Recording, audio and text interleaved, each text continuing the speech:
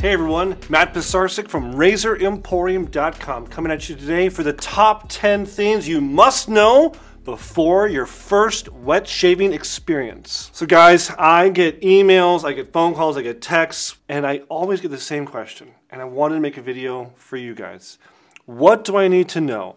before I get started with this whole hobby. I'm thinking about wet shaving. I've been reading about it. I saw my friends are doing it. It's the cool new thing it's just it's just so much so matt. It's so much. I, am watching videos i'm reading forums i'm on chat rooms i'm in facebook groups and there's so many conflicting things and products and i just i can't make sense of it. What do i really have to know? With 18 years experience as a wet shaver under my belt and kind of a little bit more of a purview of being a retailer and manufacturer and collector of vintage razors i think i know a couple things uh, about this hobby um, and I want to share with you what I think are my top 10 lists.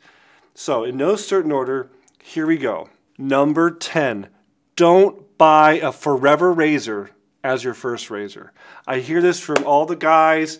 They are researching. They are, you know, wanting to take advantage of a, of a coupon. They want to buy once, cry once. They, they like nice things. They can afford a premium product, and they're looking at something expensive. And that's cool, and we totally want your business but I would say time out.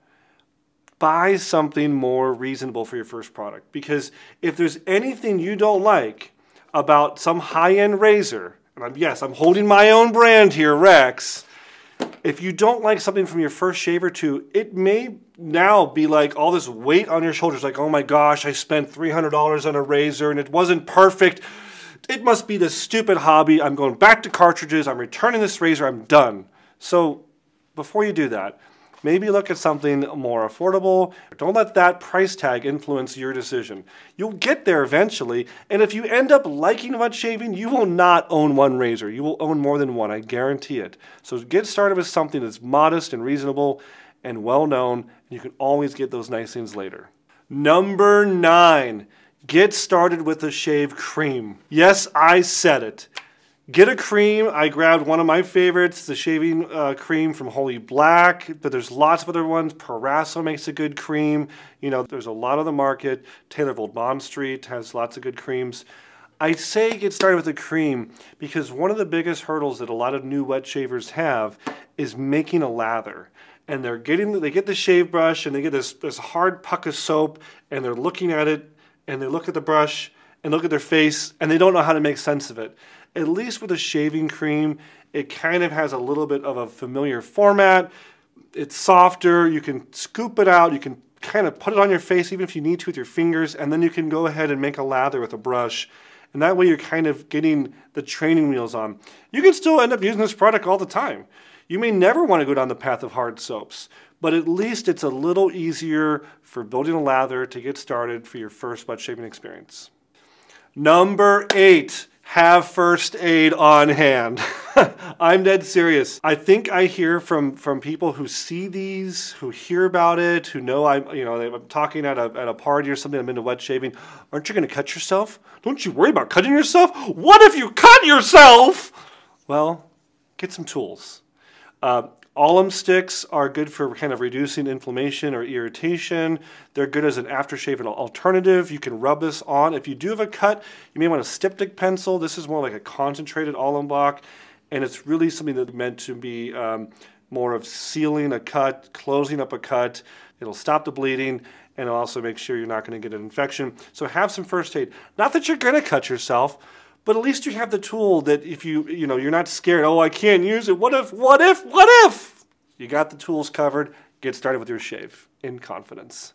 Number seven, stick to your dominant hand, especially with straight razors, but I guess it applies to safety razors. You know, there's a lot of things you're seeing where guys are doing this, and then all of a sudden, oh, I can just come over here with my left hand. Oh, I can do this, and I can do this stick with your dominant hand. If you're right-handed, use your right hand. Left hand, use left hand. Just because you don't want another hurdle. Um, the straight razors is especially, you see guys, they grab the straight razor and they're over here, and then all of a sudden they can switch hands and they're over here now. So I would say stick with your dominant hand at first and don't try to you know master everything with your first shave. Go for par. Uh, just try to jump in and get wet with the experience and not try to make the mechanics foul you up. Number six, no going against the grain. I know it sounds counterintuitive. I want to get the closest shave possible, Matt. I have to have a glass finish. Listen, nothing. It's like glass. It's perfectly smooth. People walk up to me with like credit cards and they test like, oh, you got stubble. You failed. You failed your wet shave. No, guys, there's no drill sergeant who's going to pass inspection in your bathroom. You know, no one's taking a cotton ball to see if it gets stuck on your on your whiskers you need to go for par. You need to go for a good, comfortable shave that you don't get irritation and ingrown hairs from and, and have a problem with before you go down the path of trying to chase that BBS, that baby butt smooth shave, right? So go for par, get a good, close, comfortable shave. You can always get closer with more passes as you gain confidence. But for your first shave, get started with with the grain only. Which brings me to my next point, number five, know your grain map.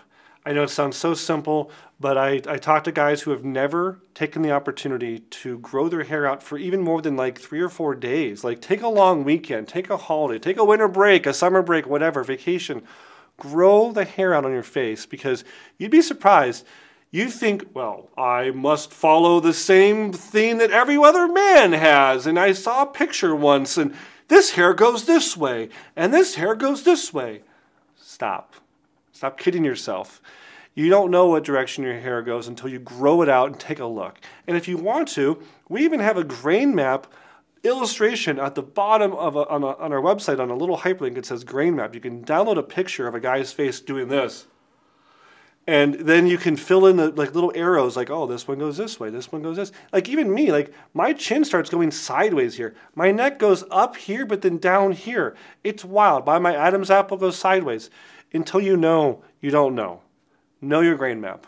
Number four, take your blade out. Take the blade out. I know it sounds so uh, normal for people that are, you know, deep into the hobby of wet shaving, but if you are new and you get a fancy safety razor, I don't care what finish it is. I don't care if it's nickel, brass, rhodium, gold, stainless steel, zinc alloy, aluminum.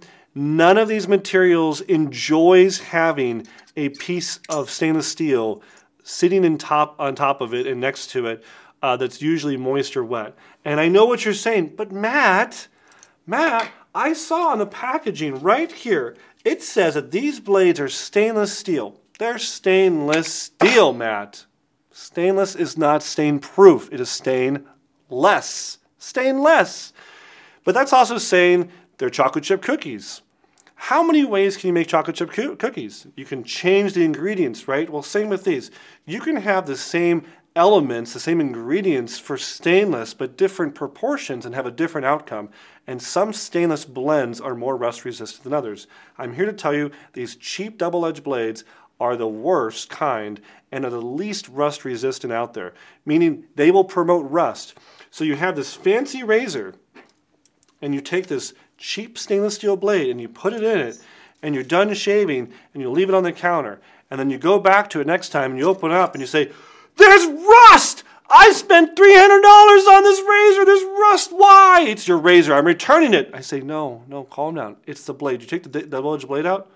No. Why did I take the double-edged blade out? At minimum, crack the doors, loosen the cap, get some air in there so it can try to breathe and not be clamped down in constant contact with the, you know, the entire surface of the metal.